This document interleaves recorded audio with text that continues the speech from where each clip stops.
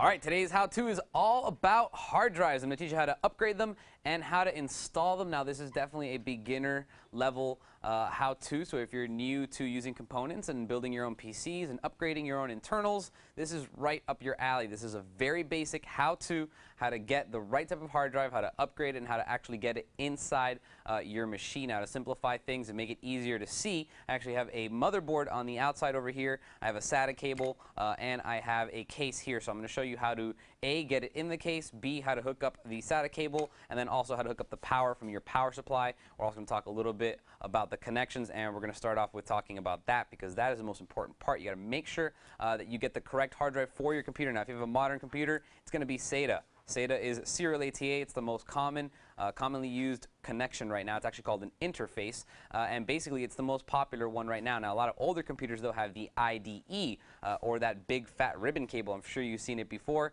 uh, and that is a different, that's a PATA uh, or parallel versus a serial. Now, this is what uh, a PATA or IDE looks like. As you can see, it has a ton of small little pins, uh, and basically it's going to use a really, really big ribbon cable to attach to your drive. Now, uh, a serial ATA or SATA uh, right here is a completely different animal. It's basically got uh, the plug for the hard drive and then the power plug right here. Now, I want you guys to notice that this is the power for the SATA. Now, look at the uh, the power for this. It's the older uh, Molex connection, the 4-pin Molex. So that's basically the two things you need to notice. This uses a big 4-pin Molex and an IDE ribbon cable uh, versus the SATA, uh, which uses both SATA power connectors. So it's a SATA cable to go to your motherboard and then the power from the power supply. Now let's talk a little bit about these drives on my desk here. Let's talk a little bit about uh, speed and capacity. Now, first of all, uh, what you're looking at here is an IDE, an old drive. It's IDE. This is basically what you're going to be taking out of your computer to replace. This is an old 500 gig. Uh, it's still pretty good capacity. 500 gigs is enough for a lot of uh, movies, but and, and music and folders and files and pictures, but uh, you might want to upgrade to the faster and newer inter, uh, you know, interface type, which is the SATA right over here. Now, uh, let's talk a little bit about capacities and what type of people need large capacities. Uh, one terabyte right here is a pretty big capacity nowadays. Uh, that's a good amount. It's the second or third largest drive on the market. One terabyte is good enough for the majority of people, and just having one one terabyte drive is enough to store all your stuff, run your operating system, et cetera, et cetera. Uh, now, if you're an enthusiast and you want extreme performance, you might want to look into one of these. Uh, this is an SSD. Basically, it's like a hard drive, except that it has all flash memory in here, uh, multi-layer NAND flash, and these give you blistering performance. These are very, very fast. There's no moving parts. Uh, they're shock-proof. They're weather-proof. They're just uh, really really durable. They're, so it makes them really good for laptops, and it speeds up your computer significantly. Uh, now, somewhere in between there uh, is something like this. This is a Velociraptor from Western Digital. This is a 2.5-inch drive. It's actually just the inside, so it's a hard, it's a, a laptop hard drive, just like this one, 2.5, uh, but it's fit in this uh, case so that it fits in the 3.5 inch form factor that most desktop computers actually accept. Uh, now, if you don't have a place to put a 2.5 inch drive into a desktop, again, you can kind of just figure out a way to stick it in your case. But uh, on a drive like this, it comes with this very nice little adapter so that you know it's going to screw in uh, just perfectly. The fit will be just right, and you won't have any uh, loose parts in here. This is 400 gigabytes. This is a good compromise between speed and performance. The one terabyte might do 105 megabit per second read. Uh, this is going to do like 125. This is going to do about 240, which is very, very fast. Uh, and that's all good and useful. Now let's talk a little bit about RAID uh, because there are a few different types of um, RAID out there. Now, if you're going to do something and you're all about performance, you want blistering fast speed, RAID 0 is definitely going to be what you want to do. That basically splits uh, the outputs coming out of the motherboard into two hard drives so they can both write as fast as possible, and you're splitting it up. The problem is, is that now if one drive fails, all the information is lost, so it's not as reliable. Um, but you do get an increase in performance. RAID 1 on the opposite end of that is basically going to be a redundant backup. It's going to write the same thing to two different drives. So if one drive were to fail, you always have a backup. Now there's a lot of other types of RAID and you get a lot more complicated with it, but just to keep it simple, since this is a beginner's tutorial, uh, basically RAID 0 is going to give you added performance but decrease reliability. RAID 1 is going to increase your reliability, but it's going to keep your performance about the same. The other benefit uh, to RAID 1, or I'm sorry, it's not a benefit, it's a disadvantage, is that you're actually um, paying twice for the same amount of space. You're buying two uh, one terabyte hard drives, but you only have one terabyte of space to store it in. So that's a very basic RAID setup. Uh, so let's move on from RAID. I don't want. I just wanted to touch on RAID um, in case it was important to somebody out there. But RAID is, is something that's a little more advanced. This is beginners. I just want to teach you how to get this uh, into your computer. Now let's take a look at the inside of this case. I'm going to show you here. Uh, there's this is a uh, NZXT Panzer case. Now there's a couple different places to put hard drives in here, uh, but I'm going to show you this one right here. This is a great place to put it. This is what most cases look like.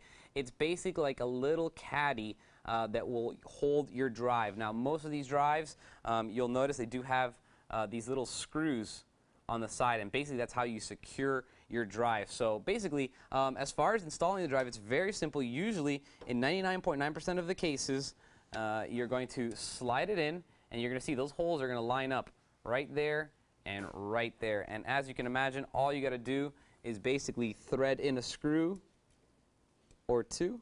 Uh, some people just use one because they'd rather it be fast. And tighten it down with a screwdriver. And you basically, you're now secure. Now, some people want to do all four screws. Uh, I prefer just to do one or two on one side maybe to keep it secure. Um, but very simple. You don't need to get too complicated or lock it in. Um, and that's basically it as far as physically uh, getting it into the case. Now, actually hooking up the drive uh, is just as easy, actually. Now, I'm going to show you, uh, there's two things you need to plug into the hard drive. First is the SATA cable, which is going to go to the motherboard. The second is the power, the SATA power, which is going to power uh, the drive itself. Now, I'm going to work with uh, this one terabyte drive. I'm going to put the rest of them to the side, uh, and I'm going to show you basically, whoa, I'm going to show you basically, first of all, how to hook up the SATA power. Now, the SATA power uh, basically comes from your power supply, so I happen to have a power supply in my lap. Happens all the time. Uh, and if you zoom in here, I want to show you what the SATA plug looks like. This is basically what a SATA plug looks like. Uh, so where you might have seen the older uh, Molex plugs, if you're getting a new hard drive, this is what it's going to look like. Um, and as you can see on uh, this hard drive, there's this big fat one over here.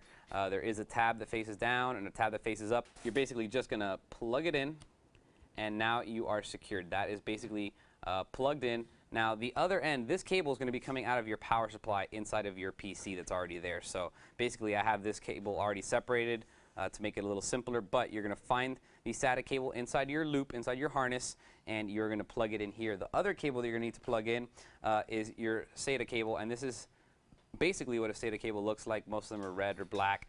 They usually come with the motherboard, and you're going to do the same thing. You're just going to uh, plug it in right there, and there you go. Now you are plugged in. Uh, now it is kind of important where the other end goes though, because you can't just plug it into the hard drive.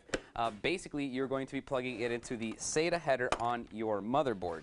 Now, in case you've never seen a SATA header, this is what a SATA header looks like. Um, a lot of motherboards have, you know, as many as six of them, eight, even more, and it doesn't really matter which one you plug it into, but uh, you do want to make sure you plug it in securely, firmly, and once it's in, uh, SATA is kind of like a hot, hot swappable plug-and-play device. So once you plug it in, your computer automatically is going to know uh, that it's there, and that's basically all you have to do. Now, if you had one drive already you know, installed over here and it had your operating system on it, and now you're adding a second drive to just make it to get more space or more capacity, all you really need to do is plug this in, restart the computer, uh, go into Windows, and you're going to have to format that drive. So that's basically it. All you do is plug in the SATA cable, plug in the power from your power supply uh, to the drive, and then physically install it, put a couple screws in, and that's basically the extent of how easy it is to add a hard drive to your device. Now, if you want to upgrade Uh, your only drive, because let's say your drive died, then you have a couple options. You might actually have to image your drive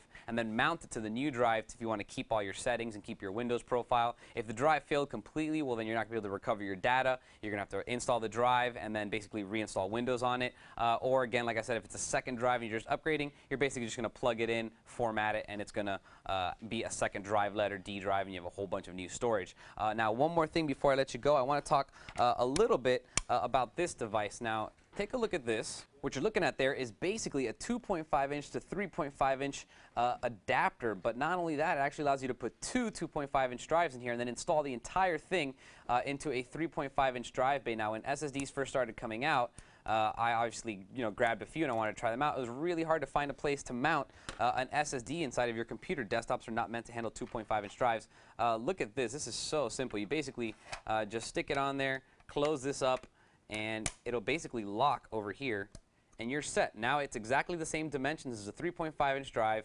Uh, you put it into your PC. It actually only uses one power instead of two. And it doesn't really matter if you only want to use one drive in there or if you want to use two. It's just a great, cheap, affordable way uh, and good looking way, I might add, to get uh, your SSDs into your computer if they don't have a place to mount them because most things usually don't. Uh, your other option is on the 2.5 inch drives. The holes are still in the same place. So you kind of just screw it in nice and tight to one side only, and it's kind of kind of float in the air. I don't like that method. I prefer this, but this is uh, a little bit of money. these aren't too expensive, but they do cost. So uh, just wanted to throw that in there, and that wraps up our how-to. That's all you got to know. SATA cable, SATA power, what type of hard drive to buy. Uh, you know, you want to get a big drive, add it as a secondary drive. Putting it in is as simple as using a screwdriver. You don't need any tools. Uh, so don't be afraid. Don't be intimidated. It's really, really easy to install or upgrade your hard drive. If you guys have any questions, go ahead and email me, and I will see you guys next time.